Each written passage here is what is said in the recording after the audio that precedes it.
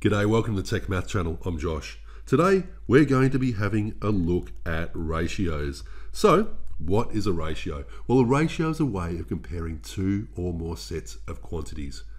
Let me give you an example of that. So, say we were filling up a glass with cordial with some Kool Aid, and you can see here that what we do is we add the cordial to the bottom, and we have three parts of that three parts of nice, calm inducing uh, red cordial there. And to that, we're going to add some water. And to that, we add eight parts of water. So one, two, three, four, five, six, seven, eight. And we dilute that down.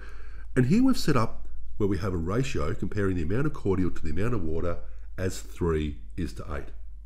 So that at its most basic is a ratio set up there. You can also write them as a fraction, uh, you know, where we'd say uh, 3 over 8 is, you know, say the amount of uh, cordial compared to the amount of water. But largely, ratios are set up and seen like this here. So let's get into some other parts of ratios, some important things that you should know when you are doing ratios. So the first thing about ratios is that measurements do matter. And what I mean by this, say we were looking at the side lengths of this rectangle here, we had ourselves a picture and it was three meters by five meters. Now the first thing you're going to notice is that we have the same units used here where both measurements are in meters. And we need to have that when we are doing ratios. We're talking about the same units. So in this case, we already have things as the same units. I'll set a couple up later where we don't. And so we can easily set up a ratio of one side to the other and have a ratio of 3 is to 5. What you're going to notice is we don't put those units down. I don't write 3 metres is to 5 metres. We just say the side lengths have a 3 is to 5 ratio. Because this could be in metres, but then we could also then talk about in centimetres or even inches, though those side lengths have that same ratio there. However, what about if I change this where we don't actually have the same units used? Let me give you an example of that. So say for example, we had a 30 centimeter side on one side and a two meter side on the other.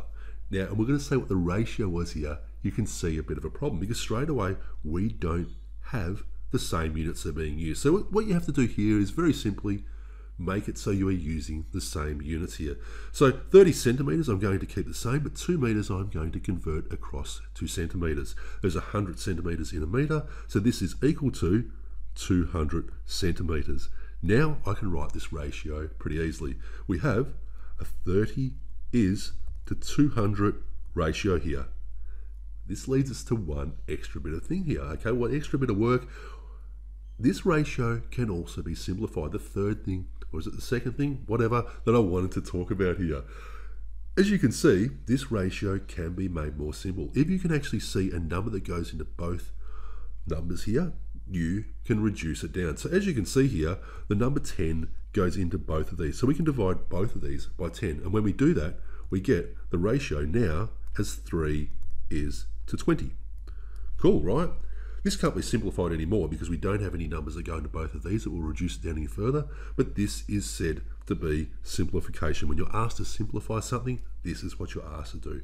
Reduce it down to its simplest form. Okay, we're going pretty well so far. What about we practice this simplification one more time and then we'll get on to something else. So say once again we had a rectangle where we had a 200 centimeter side and we had a 40 centimeter side and we wanted to actually simplify the ratio that will form down here. Well, we can do that. So first off, write the ratio. This is 40 is to 200. We can write this because we have the same units both times. We can literally easily just write this as 40 is to 200. But now we can go through and simplify this. So look for a number that goes into both 40 and 20. And straight away you might say once again, okay, 10 goes in. So we're going to divide both parts by 10. When we do that, we get, okay, 4 is to 200 divided by 10, 4 is to 20. Now be very careful at this stage can any other numbers go into it? Can 4 is to 20 be reduced any further? And there is a number that goes in both of these. Well, a couple of numbers do. 2 does, but also 4 does. So we can reduce this even further by dividing by 4. 4 divided by 4 is 1, and 20 divided by 4 is equal to 5.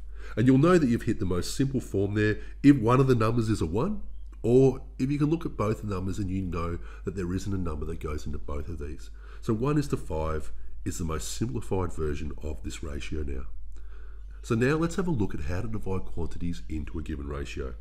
All right, so say we had $200. We are using 200, let's use it again, and we wanted to divide it into a ratio of 3 is to 7. That is to say, we want to give three parts of that money to one person and seven parts to the other. We want to give three parts to our least favourite child and seven parts to our favourite child. Well, let's work out how to divide this up. So the first thing we're going to do here is let's just look at the total number of parts that we have here. So 3 plus 7 is equal to 10. So altogether, we are talking about 10 parts in this ratio here.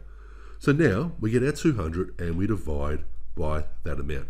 200 divided by 10, all up, each part is worth $20. That is each part. So we can divide up fairly simply now. One person is getting three parts of that. So 3 times 20, that person gets 60 bucks. Our favourite child, well, they're getting 7 times 20, that one is getting $140. So the money has been divided up into a ratio of 3 is to 7. All right, what about one more of these to practice? So we'll stick with the same sort of question once again, where we have $44 and we want to divide it up into a ratio of 6 is to 5.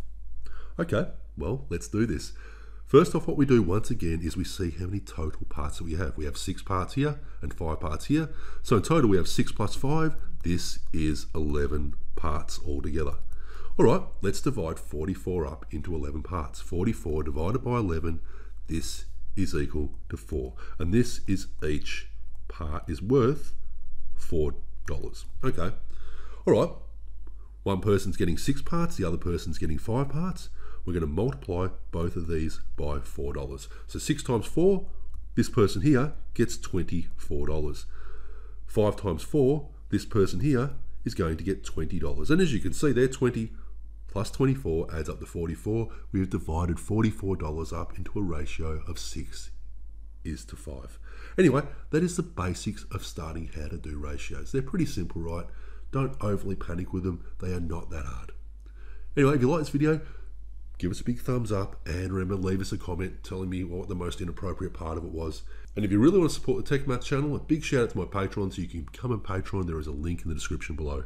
Anyway, thank you for watching. I hope this video you found you know, pretty helpful.